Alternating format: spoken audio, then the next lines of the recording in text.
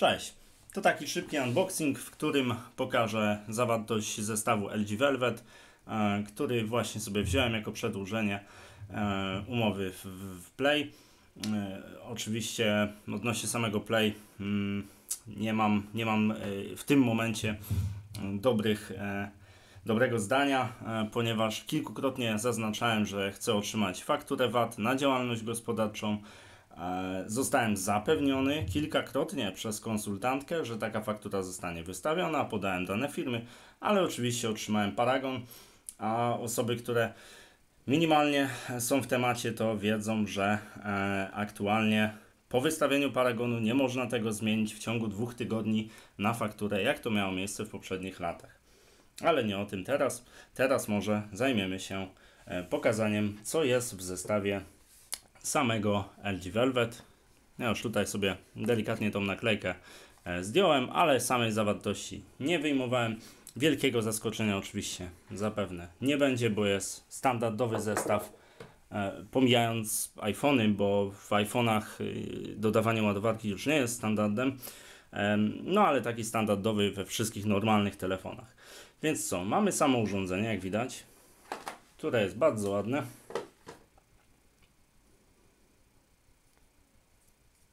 Zapakowane, lśniące, wagowo, podobnie jak e, LG V30, którego używałem. Nie ma tutaj jakiegoś wielkiego zaskoczenia. Może na razie damy urządzenie tutaj. E, Quick Start Guide, czyli instrukcja. Nie mamy już e, żadnych słuchawek, także LG też w kierunku cięcia tutaj kosztów y, i budżetu i tak dalej, bo w V30 miałem bardzo fajne słuchawki. Mm, tutaj ich nie ma, ale no, że tak powiem, życiowo podchodząc do tematu, ładowarkę dodali. Także świetnie. No i oczywiście kabelek USB-C. To tyle.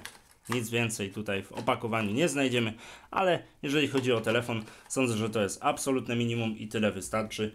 Tyle powinno być. E, dlaczego uważam, że ładowarka powinna zostać dołączona? Ano dlatego, że te urządzenia też się zużywają, też się niszczą e, i tak naprawdę nie powinno być dyskusji, czy to powinno zostać dołączone do mm, telefonu, czy nie, bo według mnie powinno. Także no, jeśli chodzi o iPhony, no to to jest tragiczne posunięcie według mnie.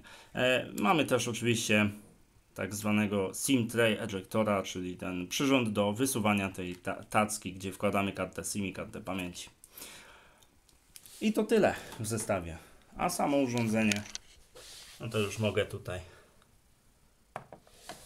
pokazać, przybliżyć.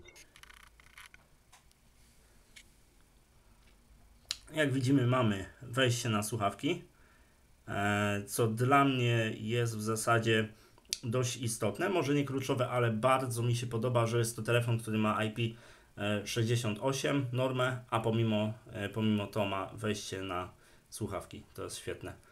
Wejście do ładowania, głośnik. Hmm. Tutaj mamy, to chyba jest przycisk do e, zasilania. Mikrofon i e, tacka do karty SIM. No i tutaj mamy głośność i drugi przycisk chyba do asystenta Google.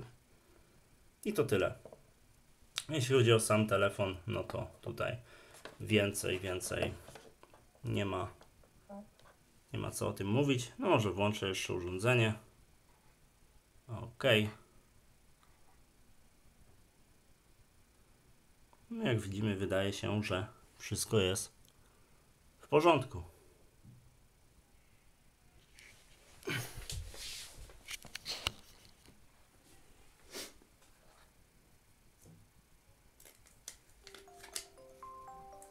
Ja już wcześniej do samego urządzenia e, zakupiłem, no bardzo ładnie wyglądają te plecki.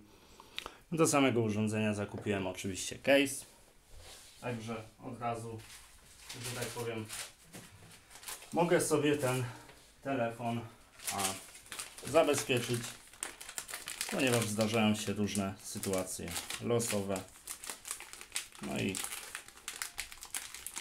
różnie w życiu to bywa.